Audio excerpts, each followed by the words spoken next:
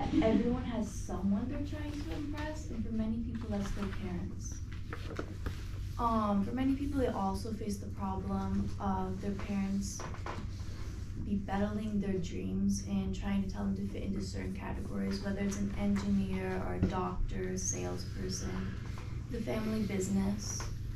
Um, the problem is, is that you can't let your parents control what you want to do because it's your life in the end, not your parents.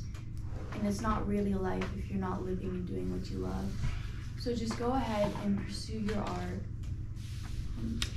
Be a teacher if you want to be a teacher, even though it pays less. Really, whatever you dream to be.